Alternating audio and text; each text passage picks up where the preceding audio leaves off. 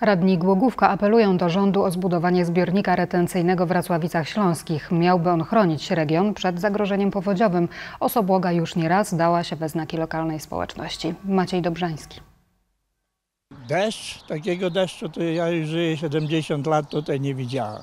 16 lipca tego roku przez Racławice Śląskie przeszedł istny Armagedon. Zalane ulice, podtopione posesje, straty liczone w setkach tysięcy.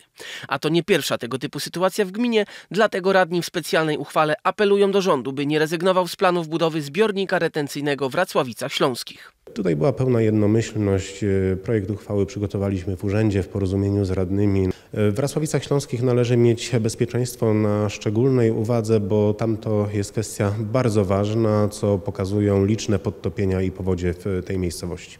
Według radnych powstanie zbiornika ma kluczowe znaczenie dla uniknięcia bądź zminimalizowania skutków licznych i częstych tu powodzi i podtopień, za którymi często stoi kapryśna osobłoga. z miesiąc temu, no to tu na przykład tutaj było wszystko zalane w cholerę. No. Tutaj cała ulica tonęła, nie?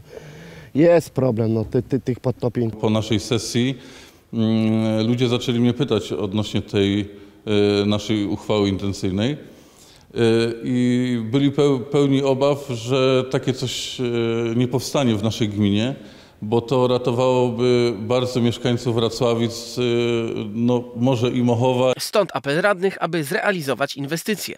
Koszty takich przedsięwzięć są jednak ogromne, a potrzeb w kraju wiele, mówią posłowie z Opolszczyzny.